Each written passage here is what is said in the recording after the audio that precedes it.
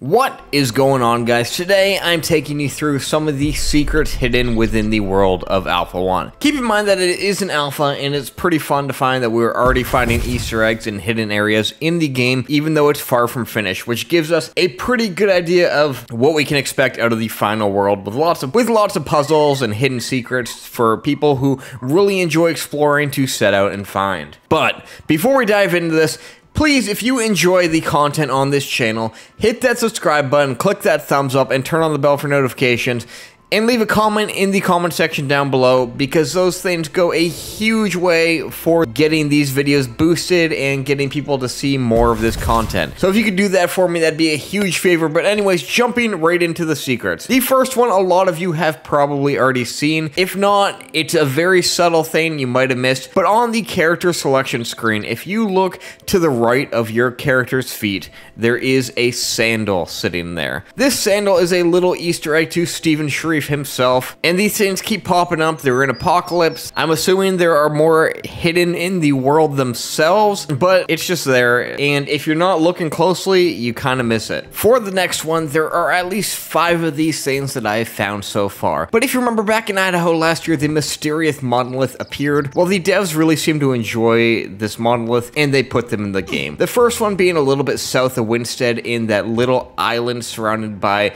a small river. The second one being on the eastern shore. If you follow the shore north heading towards the ferry, you'll find it sitting on a little island. The third one is on a small island. If you go to the western coast of the Na-Ala node and follow that coast up into the little cove, there are three islands. The one in the center has the monolith on it. The fourth one you will find hidden behind some rocks right next to the Trader's Rock Ferry. It's a little tucked in there and is surrounded by a bunch bunch of flangler little creatures, but it's pretty easy to find. And the fifth one you'll find behind the castle that sits between the Winstead node and the Mistmire node, right before the Mistmire dungeon. Another secret appears to be hiding just southwest of the Edge Point node. There is an underwater cave that leads you up to what looks like a sunken divine gateway, which is the entry point into Verra. But the center of it is a little different. It's not the crystal that we normally see in the gateways, it's something else.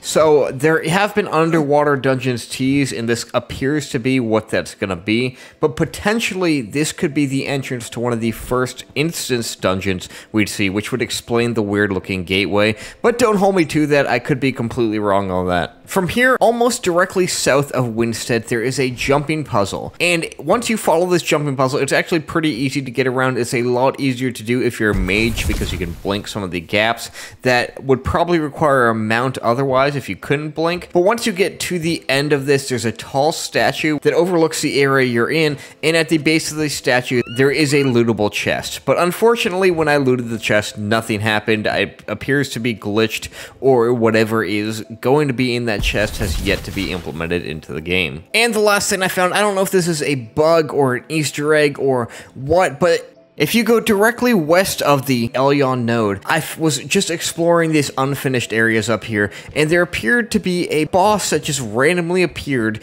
named It Before Whom All Trembles that just showed up and annihilated me. I hope you guys enjoyed this quick video on some of the secrets that I have found in Ashes of Creations Alpha 1 so far. If you found anything really cool, let me know in the comments down below so I can go check it out. Otherwise, like I said in the beginning of the video, be sure to click that subscribe button, hit that thumbs up, and turn on the bell for notifications as you stay tuned for a lot more to come.